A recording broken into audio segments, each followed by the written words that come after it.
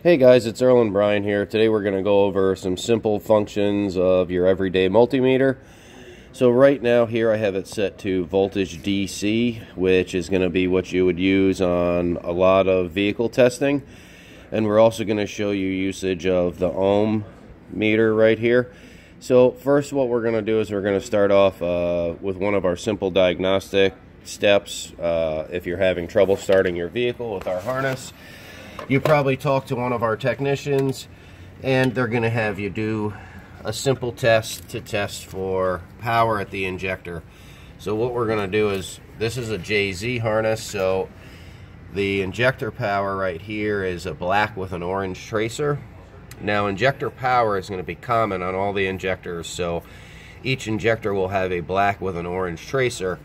So what we're going to go ahead and do is we're going to insert our positive lead of the multimeter into the black with the orange wire.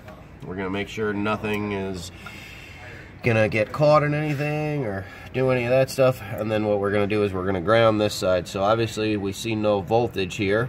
Now I'm going to turn the key on inside the vehicle and Brian's going to go ahead and give me a little help here. He's going to touch that to the ground to see if we have 12 volts.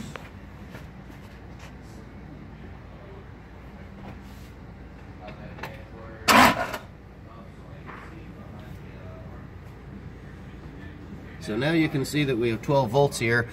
So any coil or uh, injector will have 12 volts with the ignition power on. So this is a good test to see if your harness is actually getting powered up because we use a common ignition power inside the harness for a lot of the functions including the computer.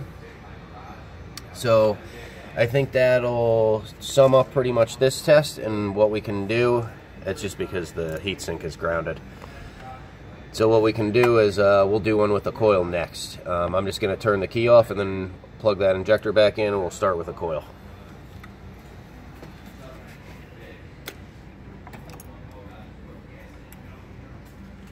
It was grounding the the heatsink was grounding through the carbon. Uh, let me just grab a little screwdriver here.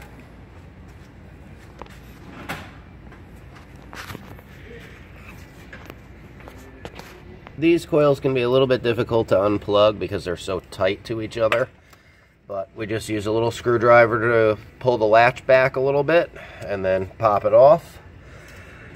Brian has already plugged the injector in for me there.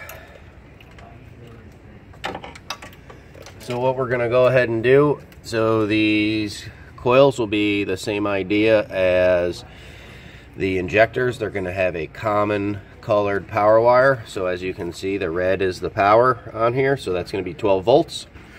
You can see it's common to all the coils. All of them have one red wire. That's going to be their common power. So what we'll do, we're going to stick the probe in there. I'm going to go ahead and turn the ignition on, and then we're going to ground the other side to show that we have 12 volts at the ignition coil.